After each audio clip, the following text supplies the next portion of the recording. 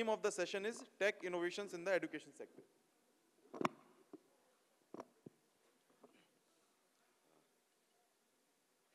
Good afternoon, uh, our co-panelists. So as we see, we are uh, both from government and the industry. And uh, our audience also is tired. Uh, their lunch is not far away, so will not take much time. Uh, the topic for the uh, discussion is tech innovations in the education sector. Building smart classrooms, tech innovations for inclusive education, industry collaboration for enhancing skilling and employability. So uh, just to prepare a setting for our discussion, uh, last two decades has seen many new jobs are getting created, new job opportunities are there. However, our uh, educational system, uh, both the, uh, the traditional education, that is the uh, 10 plus 2 and then graduation, as well as the ITIs and the polytechnics, the so-called the skilling ecosystem, has not kept in pace with this change. The syllabus what we have continues uh, uh, to be uh, what was uh, relevant to the, to the industry around 20 years back. Most of our syllabus is not updated. Even our assessment methodology, what we ask in the assessment in, in terms of the examination or the practical tests, it's more oriented towards rote learning, uh, learning things which are not important when they join the job. So this is two challenges what we are facing. So there is a dichotomy in the system uh, uh, at the moment. On the one hand, there are many jobs which have come up uh, in the urban areas, like jobs like uh, uh, elevator um, uh, technician, um, jobs in the healthcare uh, industry, which were non-existent uh, two, two decades back, and particularly after uh, smart cities and mega cities coming up. So we are facing this challenge of one, there are many jobs which are uh, available, open, but on the other hand, we have a vast pool of young population which, uh, who are trained in the traditional jobs, in, in, for, the, for the traditional jobs, which no more exist. So on the one hand, there are job opportunities. On the other hand, uh, there are uh, um, uh, uh, jobs, there are people who are not able to join those jobs because of lack of employable skills. So how we can uh, uh, fulfill this gap, to close this gap by bringing in uh, tech innovation in the education sector? Uh, to begin with, I would like to request our, my co-panelist uh, sitting to the right of me to respond to this, sir, please. Shall I go with the presentation? Please, we have one. Smart education, smart education.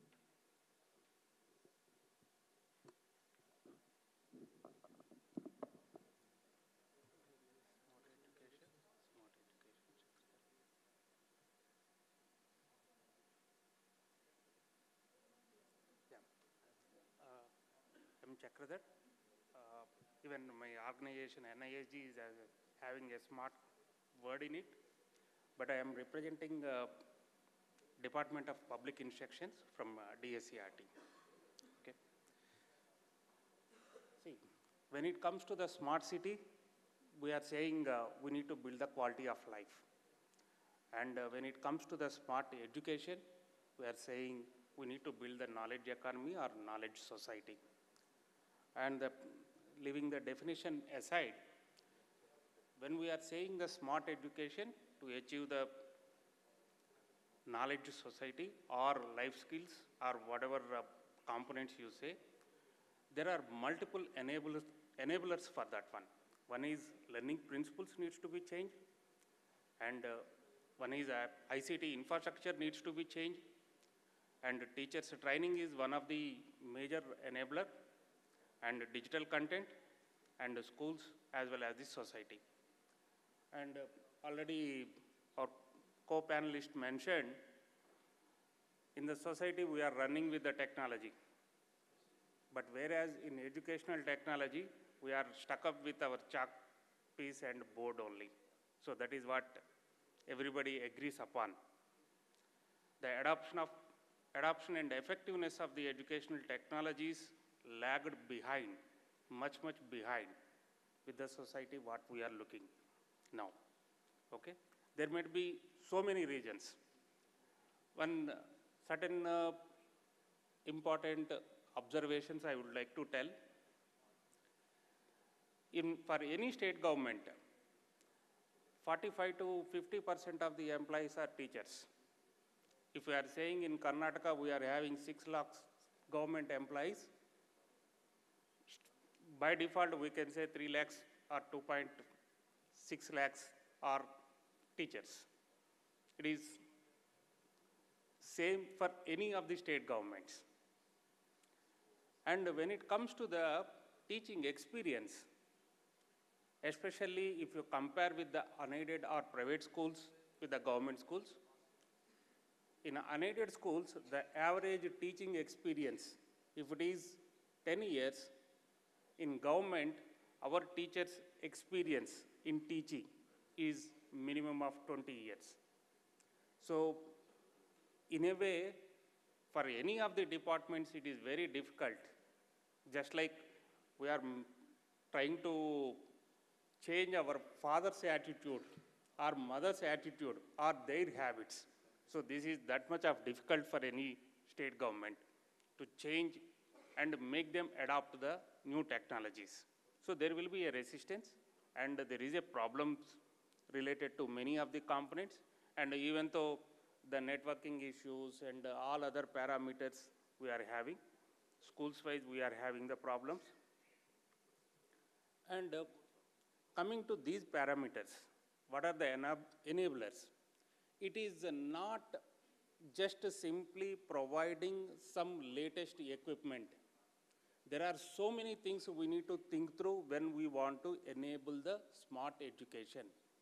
The first one is learning principles needs to be changed, the curriculum needs to be changed, and the instructional methodology needs to be changed, the assessment methodology needs to be changed, and we need to identify all these parameters.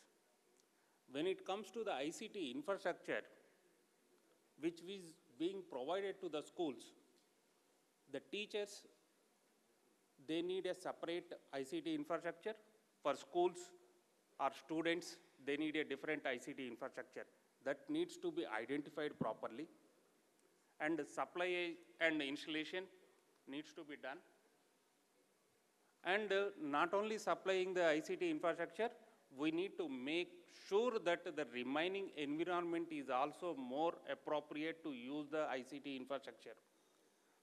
So maybe the power connection and UPS or internet, whatever components is required, and maintenance of the equipment and uh, organizing the essential consumables. These are all comes under the ICT infrastructure. When it comes to the teachers training, this is the most important component which needs to go and align with the ICT infrastructure what you are providing. So creating awareness on the ICT equipment what you are providing. So that is all essential. And ICT training is the essential. And uh, training on pedagogical concepts, how to teach using the new or latest equipment. That is the most important one. And the reinforcement of the training and workshop creation and all other parameters. So this is what we need to concentrate. And considering all of them, government of Karnataka come up with a comprehensive plan considering all these parameters as a TALP, Technology Assisted Learning Program, which is being implemented in the government of Karnataka. For this one, we added all other parameters. Uh, In a nutshell, what we are providing is, we are providing first training to the teachers, and then we are supplying a teacher's equipment, a laptop and projector to the schools, and then we are reinforcing the teachers, and then we are providing the computer labs to the schools, and then only we are providing the students ICT curriculum. So this is the structure how the mm, TALP is being processed. And already we have trained around 19,000 teachers across the state, especially secondary school teachers from the PCM and other subjects. And uh, similarly, digital resources also we are compiling. And we are presently having more than 4,000 dig- digital resources, maybe e-content, in the form of videos and uh, other parameters, which is being provided and loaded into the computers and given to the schools. And uh, infrastructure-wise, We have provided laptops and projectors to more than 2,500 schools, and uh, computer labs already established in around uh, 1,700 plus schools, and UPS systems were also supplied.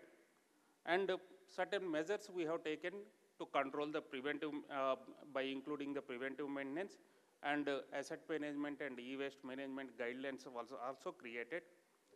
And learning principles wise also we are concentrating how to build the instructions based on the ICT based uh, equipment utilization. And that's all from my side. Um, Thank you. Thank you, sir. Uh, So in the interest of time, uh, we will uh, switch over to an interactive session with our speakers. Now, we also have with us uh, uh, Mr. Prashant, who is from the Danish consulate. Uh, Prashantji, what we generally see is there are many schools which have went to smart classrooms, you know, digital board, ICT-based learning, simulation softwares, all of them are available. However, we see that their actual use uh, is very, uh, not very optimally utilized. That is one part, how to ensure that teachers actually use those things, the advanced tools which are, what are presently available. On the other hand, we also have a challenge where many, um, uh, all this latest advanced technology would require some capital investment. Uh, so generally they go to the uh, good schools, good colleges, private schools and colleges. So that digital divide also gets, uh, gets generated. So we have two uh, pronged fight. One is how to uh, make sure teachers actually use the available digital technology. And two is how to bridge the gap between the government and the private uh, educational institutions. Uh, and what can be done regarding that? I want your views, please. Hello.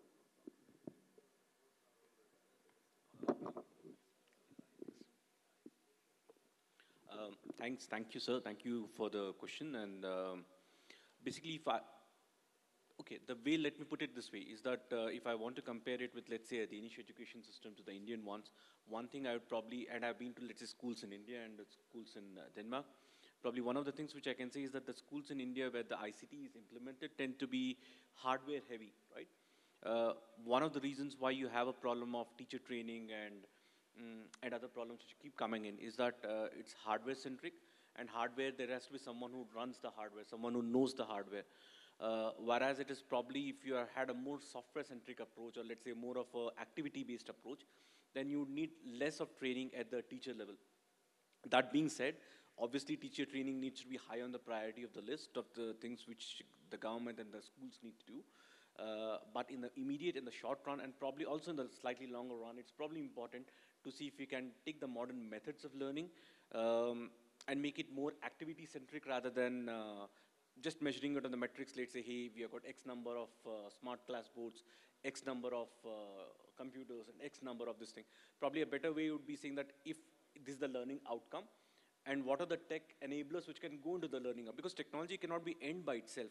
The goal is not to ensure that you have got the biggest supercomputer in the world. Goal has to be saying that, hey, my kid who is there in pre-KG or in school or in college or in university or in post-continuous learning post after that is learning the maximum things out of it. And one of the good parts of being in the age where we live in is knowledge is free. You go to YouTube, you go to uh, any of the uh, the MOOCs, uh, you get probably content, the best content free. You can get the content which is probably taught in Harvard, probably at zilch cost. A person who is going to Harvard would probably pay millions of dollars to pay for it, but a person who's sitting here can get the content free, right? So the idea is to use it in the best way forward and not just adopt technology just for the fact that you need to have a, a, a smart class board or need to have a, a, a computer inside. Maybe a mobile could do the job as well, right? Thank you. Uh, Thank you, Prashantji. Uh, Now, I would like to uh, uh, ask a few questions to Pramod Sai, who is Deputy CEO from the uh, Chhattisgarh government. Uh, Pramodji, uh, you are from the government uh, sector, I'm also from the government sector. Generally, what we uh, see is, uh, one, the syllabus, what we teach in our uh, polytechnic colleges, in our ITIs, uh, diploma colleges, is lagging behind in updation. It's like 20 years older. And we continue to teach many uh, trades which are no more relevant in the industry. For example, the electrician and the fitter are the most uh, pro- prominent trades in Karnataka in ITIs, though both of them are not much relevant in uh, the present uh, technology ecosystem. And also, we face another one uh, uh, challenge, what we, I addressed spoke uh, just now, the assessment part. One is we teach a lot of theory. We don't give practical orientation, particularly for our ITIs and diploma colleges.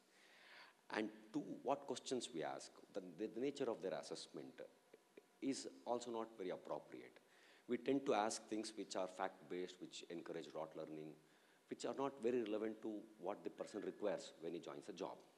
So how to address this twin challenge? And also, like, can you please also share your experience from government of Chhattisgarh? What actually they are doing to tackle this thing? Updating the uh, curriculum, uh, improving the teaching, teaching methodology, focusing more on practicals, and also the assessment tools. So can you please uh, go ahead? Presently, we have changed our guideline in Chhattisgarh state government and rules to improve the quality of skill training. Now, we have made IP-enabled CCTV camera to monitor uh, from remote uh, location, from state or district uh, places to training centers. In, in each lab and classroom, CCTV camera, IP-enabled CCTV camera is a setup in each lab and classroom. And second, Aadhaar-enabled biometrics attendance is must for uh, both trainers and trainees. Every trainer must be TOT certified trainer. And courses, uh, previously we run uh, MES courses, Model Employer Skill, but now uh, instead of MES, we replaces it, it through NSQF, National Skill Quality Framework. Uh, In NS, uh, NSQF, uh, all level are defined in QPs and NOS are there. So that modern curriculum we have, we, we can train to the, beneficiaries. Training centers, it uh, all uh, for placement uh, of beneficiaries, training centers have at, at least one dedicated placement officer should be there. Minimum seven days on-the-job training made compulsory after training completion. We have adopted in our new guidelines. Next, uh, before skill training uh, started, 48 hours uh, soft skill training is must. And uh, last uh, uh, training center will get a training batch only after producing employer demand later. And TOT certified trainer is must. Uh, Thank you, uh, Pramod ji. Uh, Will not take much time, we'll conclude. Uh, So as uh, Chakradhar also was mentioning about uh, the importance of pedagogical skills, uh, which, which needs, which are required to be imparted in our teachers. And uh, Prashant also mentioned that how the real utilization of the digital tools and the smart class things is more important than mere numbers. We, are, we should not be hardware dependent, we should focus on the outcome and activities. And uh, uh, uh, Pramod mentioned about the uh, uh, initiatives what government of Chhattisgarh has taken, the NSQF framework. So uh, uh, for your kind information, uh, all the jobs which are there in the smart city ecosystem are already been mapped under the National Skill Qualification Framework, as you must be aware. So there are more than 2,200 job roles which have been created by National Skill Development Corporation, right from field IT technician uh, to advanced data analyst. All the jobs have been actually mapped already and kept. So the, the uh, sector skill councils have also created, uh, framed the content and cur- curriculum for a few of these uh, job roles. But however, governments, uh, I belong to the government of Karnataka and uh, uh, actively involved in skilling ecosystem. So what we face is the industry, industry should come forward to register itself as a training partner so that they can tap into the funds of PM, PMKVY as well as uh, the Chief Minister's Kaushalya Karnataka Yojana. Government of Karnataka is having its own program to get register themselves as a training provider and then use these job roles and train people and recruit them. Because the, uh, the, we face infrastructure uh, constraint we have limited uh, training capacity. So what we request the industry partners who are present uh, in this uh, program is to go, go ahead and register themselves as a training provider I, under uh, uh, PMKVY or under Chief Minister's Kaushalya Karnataka Yojana, Government of Karnataka, and then train your people. You choose the aspirants, and it's, it's totally, we don't put any bar on choosing the uh, candidates. It's open to all, uh, irrespective of their income uh, uh, background use the government money and train those people, then you can employ them in your own industry. But only criteria is the training should be aligned with the National Skill Qualification Framework norms. And government, government of Karnataka and government of India will reimburse the training cost to the training partner excuse me. So this is one easy way what uh, government has developed uh, devised a system to help the industry get the uh, qualified and uh, talented manpower. With regard to the future skills, uh, government of Karnataka recently launched five uh, future skills in you know data analytics, AI, ML and robotics. We have launched in our short-term training programs. We are looking forward to tie up with uh, uh, in uh, educational institutions because as we all know, many of the engineering colleges today are lying uh, uh, vacant, un- underutilized. So we want to utilize the spare infrastructure capacity what the uh, engineering colleges are having and tap into it and train our uh, students in short-term skilling. Now, one problem what uh, most of our, I, uh, uh, with this point, I could not raise it. Uh, one, one problem most of our job aspirants have is they are not very good at uh, soft skills. Uh, though they are good, they are reasonably well off. Even our government ITI uh, students, our polytechnic students, uh, our engineering college, our, uh, you know, engineers, they are good in technical skills. But when it comes to soft skills like, you know, communication, uh, conflict management, working in a team, so these things are something which, which uh, I also I feel that there is some gap. So to address this gap, what we have done under PMKVY and under the state program is 15% of the uh, training component uh, of all the courses have been reserved for soft skills. So I think there should be greater emphasis on soft skills because uh, technical things is something which can be taught easily. Like as uh, our colleague from uh, uh, uh, HIL was speaking, you know, they can make very good pipes, very good quality pipes. But if the plumber is not able to know how to use the solvent and do it, or how to give an estimate to the client, uh, you know, surprisingly, uh, India is one of the uh, least users of power tools. A carpenter come, comes to your home, he does not use power tool. A plumber comes, he does not use power tool. Though it is widely used in Southeast Asia, it's even used in countries in Africa. But we are one of the lowest users of power, power tools. So there are large job opportunities are available on the one hand. On the, on the other hand, we have people who are trained and skilled, but not skilled up to the latest and up-to-date standards, and who are lacking in soft skills. I think with the combination of these, these soft skills as well as the uh, up-to-date uh, uh, hard skills, and with the uh, revision of the content curriculum and uh, taking a relook at our assessment methodology, I, I, I'm, I'm sure that our youth will become more employable and they will be able to reap the benefits which are offered by the smart cities. With this, I would like to thank uh, Mr. Uh, Pramod Sa- Sa- Sahu, who is uh, Deputy CEO. Yeah, he has something to add. Please go ahead, Pramodji.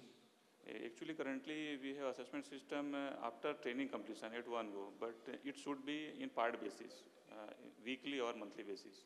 Then we can assess them properly. Thank you. Thank you, Pramodji. I, I thank him for uh, uh, joining us on this uh, discussion. I would like to thank Mr. Prashant from the Danish Consulate for his valuable insights. I would like to thank Mr. Chakradhar, who is from uh, Tech, Learning Program from Government of Karnataka. He's the project manager for that. And I thank the organizers for giving us an opportunity to present before you our small discussion on uh, uh, innovation in uh, education.